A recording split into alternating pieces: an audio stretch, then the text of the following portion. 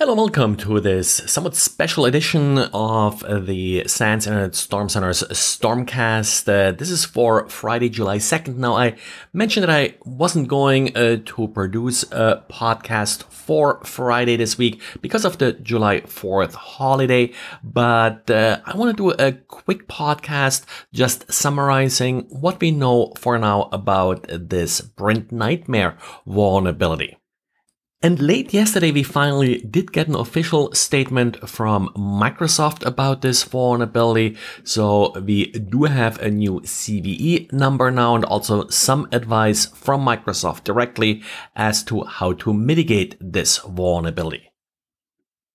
So first of all, the new CVE number is CVE 2021-3452-7. The original one was CVE 2021-1675. If you remember, that original vulnerability was patched with the June 6th uh, Patch Tuesday update. So Microsoft decided to assign this vulnerability a new CVE number as it's uh, pretty much a, a different uh, issue than the issue that was patched uh, in June. Also, as part of the show notes, you'll see links uh, to various references. That's pretty much where I pulled the information from uh, for uh, this podcast. And let's start with the nature of the vulnerability. So the problem here is a function that allows you to add a printer driver. This is typically only allowed for administrators or print operators. And administrators and print operators are able to do so remotely. So if you have a remote print spooler, uh, these uh, two groups are authorized to add a printer driver. And of course, printer drivers, they are DLLs, they are code, and that code runs as system. The problem here is that due to a flaw in how they actually uh, figure out who is authorized to add a printer driver, any user is actually able uh, to add printer drivers. And this is what this vulnerability and this exploit is all about. A normal user is able to connect to the print spooler and able uh, to call this RPC add printer driver function and add a arbitrary printer driver, which can then be used to execute arbitrary code as system.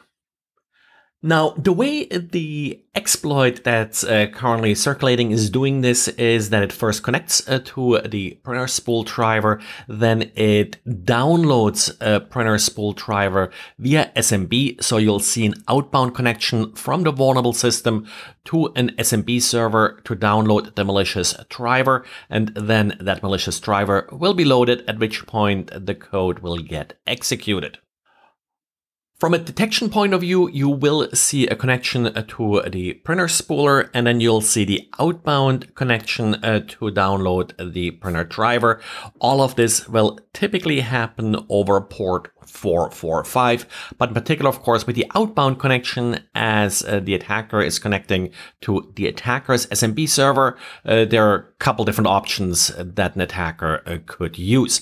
There's also a potential of using the exploit over port 139, but uh, in modern systems, uh, port 445 should be the main target here.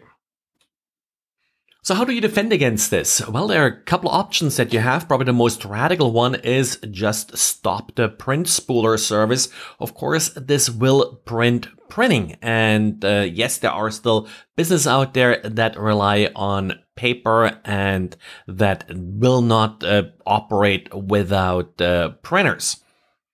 Another option that uh, I actually kind of like is uh, to just uh, remove write permissions uh, to uh, the directory that holds uh, these printer drivers. Now, this will prevent you from adding new printer drivers, but existing printer drivers will still work and you'll still be able to print.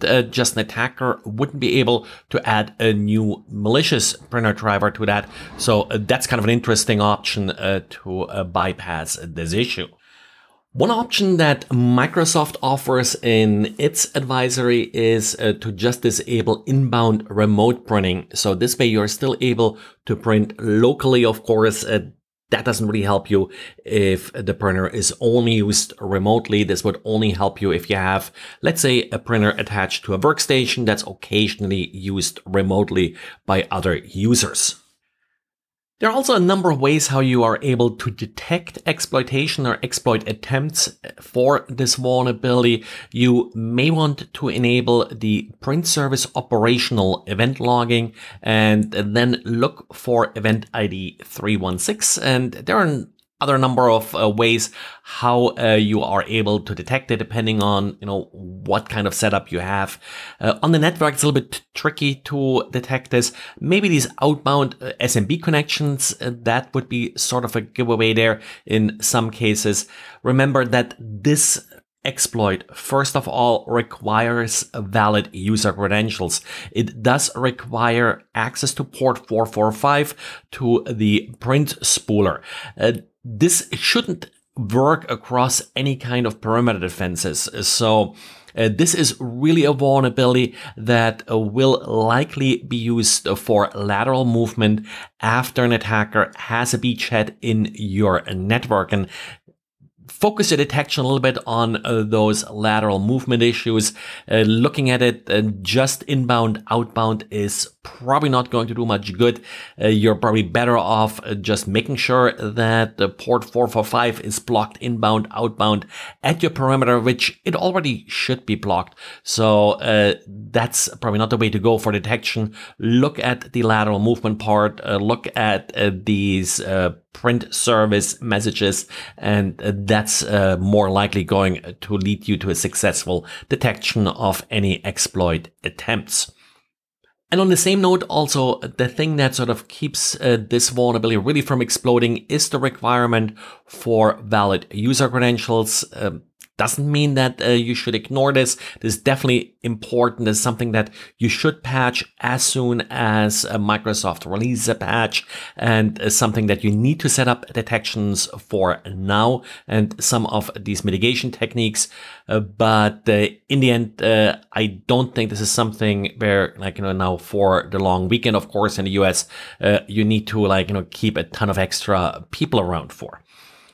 Well, uh, that's it for this uh, quick uh, special uh, podcast. If anything else comes up, uh, we'll keep updating our respective uh, diary post for this vulnerability.